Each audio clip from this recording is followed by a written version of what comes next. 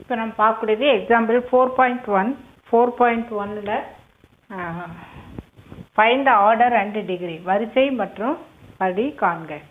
இந்த வரிசை மற்றும் படி order and degree of a differential equation கண்டுபிடிக்கணும்னா அது டிஃப்ரென்ஷியேட் பண்ணினது எத்தனை முறை வகைப்படுத்தப்பட்டது? எத்தனை முறை டிஃப்ரென்ஷியேட் பண்ணியிருக்கிறாங்கன்னு பார்க்கணும். அப்புறம் அதோட தலை மேலே அடுக்கு இருக்கும் இல்லையா? அந்த அடுக்கை வந்து பார்க்கணும். இதை பார்த்துட்டோம்னா இது ரொம்ப சம்மு வந்து ஈஸியாக எழுதிடலாம். இப்போது இதனுடைய ரூல்ஸ் வந்து சி த ஹையஸ்ட் ஆர்டர் இப்போ ஹையஸ்ட் ஆர்டர் அப்படின்னா என்ன? இப்போ டிஒய் பை டிஎக்ஸ் அப்படின்னா ஒரு முறை வகைப்படுத்தப்பட்டது.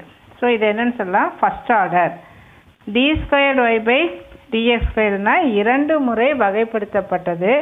ஸோ செகண்ட் ஆர்டர் திரும்பவும் நாம் டிஃப்ரென்ஷியேட் பண்ணுறேன் அப்போ நம்ம என்ன சொல்லலாம் இதை? தேர்ட் ஆர்டர் அப்படின்னு சொல்லி சொல்லுவோம். ஸோ ஆர்டர் அப்படிங்கிறது எவ்வளோ முறை டிஃப்ரென்ஷியேட் பண்ணிகிட்டே போகிறோமோ அத்தனை ஆர்டர் நமக்கு மூணு வரைக்கும் நமக்கு போதும். தென் அதனுடைய பவர் வந்து பார்க்கணும். இப்போ இந்த மூணுலேயே ஹையஸ்ட் இது இதுதான் அப்போ இதோட பவர் தலை மேலே என்ன இருக்குது ஒன்றுன்னு இருக்கும் ஒன்று தான் இருக்கணும்னு இல்லை டூ இருக்கலாம் த்ரீ இருக்கலாம் any number can be so இதுதான் ஆர்டர் வகை.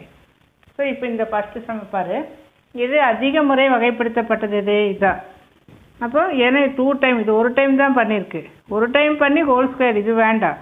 இது டூ டைம் பண்ணியிருக்கு அப்போ இது. அப்போ இதனுடைய ஆர்டர் வந்து டூ இதனுடைய டிகிரின்னா எங்கே பார்க்கணும்? தலை மேலே பார்க்கணும்.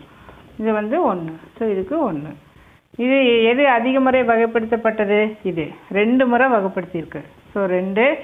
வரிசைன்னா தலை மேலே பார்க்கணும். அப்போ ஒன்று ஸோ எது அதிக முறை வகைப்படுத்தப்பட்டது?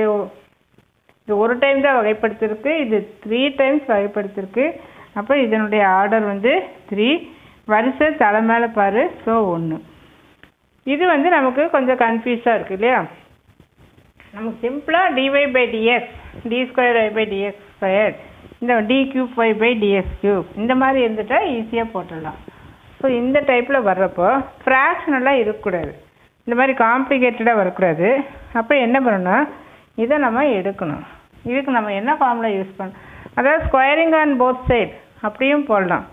So one plus d squared y by dx square power three by two equal to a d squared y by dx ஸ்கொயர்னு இருக்குது இந்த மாதிரி ஃப்ராக்ஷன் இருக்கக்கூடாது. அப்போ ரெண்டு பக்கம் என்ன பண்ணலாம்? இன்ட்டு டூ இன்ட்டு டூன்னு போட்டுரு அவ்வளோதான் இன்ட்டு டூ இன்ட்டு டூ இங்கே வேணால் ஸ்டெப் எழுதிக்க என்ன இது ஸ்கொயரிங் போத் சைடு ரெண்டு பக்கமும் இருபுறமும் வர்க்கப்படுத்துகள். அப்போ இந்த டூ டூ என்ன ஆயிரும் கேன்சல் ஆயிடுச்சா? அப்போ இங்கே என்ன எழுதிக்கலாம்? One plus d square y by df square whole cube equal to இதை அப்படியே எழுதிக்கிறேன். ஆசிட்டிஸ் அப்படியே எழுதிக்கிறேன். இங்கே வந்து ஸ்கொயர் போட்டுக்கிறோம். மீன்ஸ் இங்கே வந்து ரெண்டு டைம் டிஃப்ரென்ஷியேட் பண்ணியிருக்கிறாங்க. இதுவே எடுத்துக்கலாம் இல்லைன்னா நோ நீடு ஏன்னா இங்கே ஹோல் க்யூப் வருது. அப்போ இங்கே க்யூப் வரப்போ நம்ம a plus b whole cube expand பண்ணால் என்ன வரும்?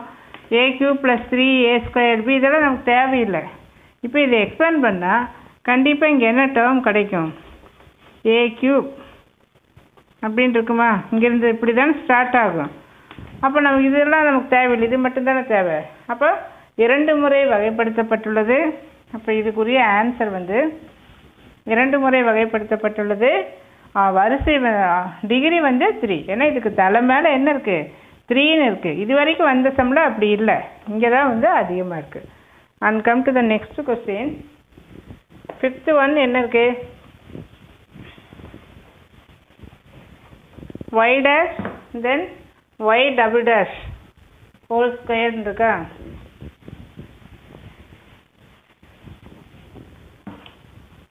இந்த ஒய் டேஷை டிஒய் பை டிஎக்ஸ்னு எழுதிக்கலாம் நமக்கு அதுதான் கொஞ்சம் ஈஸியாக தோணுது.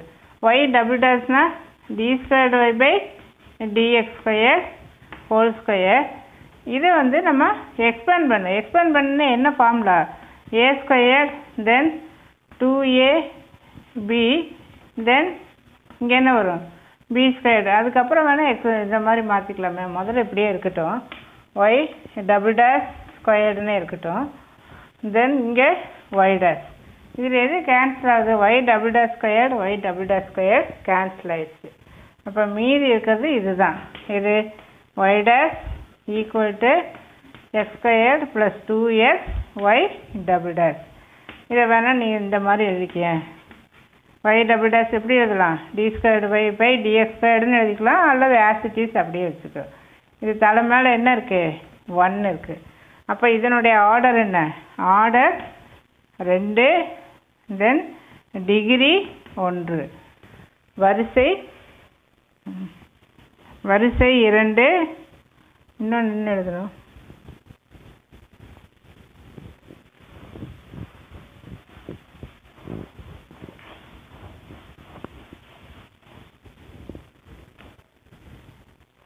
அடுத்தது d cube y by dx cube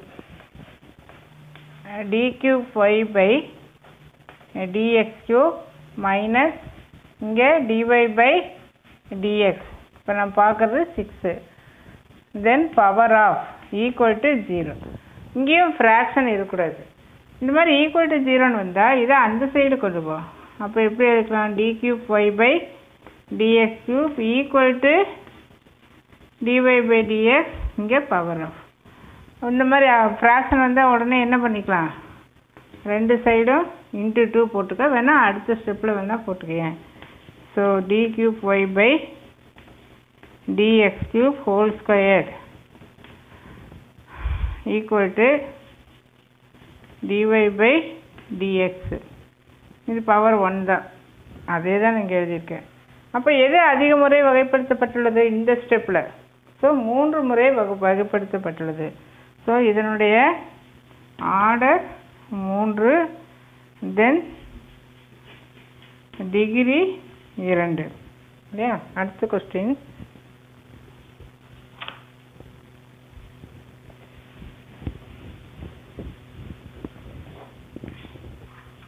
then seventh one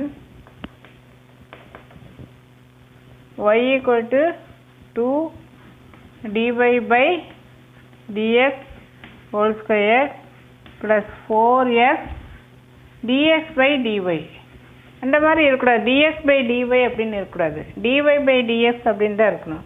So how you change DX by அப்படியே கீழே ரெசிப்ரோக்கலாக கொண்டு வந்துடுறேன் so four S by DY by DX இதை ரெசிப்ரோக்கலாக கொண்டு வந்துடலாம் கீழே. ஸோ இங்கே வந்து two DY by DX whole square இங்கே என்ன இருக்குது y now you take LCM ஏன்னா இங்கே எல்லாம் பை ஒன் பை ஒன்னு வச்சுக்குவேன் ஸோ டிஒய் பை டிஎக்ஸ் அப்போ இந்த இடத்துல two into dy by dx whole க்யூப்னு ஆயிரும். ஏன்னா இதை அப்படியே மல்டிப்ளை பண்ணிக்குவேன். தென் இங்கே வந்து as it is four x இந்த இடத்துல ஒய் இதை கிராஸ் மல்டிப்ளை பண்ணு. So y into dy by dx equal to two into இங்கே dy by dx whole cube இங்கே ஃபோர் எக்ஸ் ஸோ ஃபைனலாக அதை சிம்ப்ளை பண்ணி வந்த ஸ்டெப்பு இது. இப்போ அதிக முறை டிஃப்ரென்ஷியேட் பண்ணது எது? ஒரே டைம் தான். இங்கே இங்கேயும் இருக்குது பட் இதனுடைய பவர் தான் எவ்வளோ அதிகமாக இருக்குது இல்லையா? அப்போ இதனுடைய ஆர்டர் என்ன வரும்? ஆர்டர் வந்து ஒன்று. ஒரே முறை டிஃப்ரென்ஷியேட் பண்ணியிருக்கோம். ஒரே முறை வகைப்படுத்தப்பட்டது. அப்போ அதனுடைய டிகிரி டிகிரி வந்து அதோட தலை மேலே என்ன இருக்குது மூணு. ஸோ ஆர்டர் ஒன்று டிகிரி மூன்று.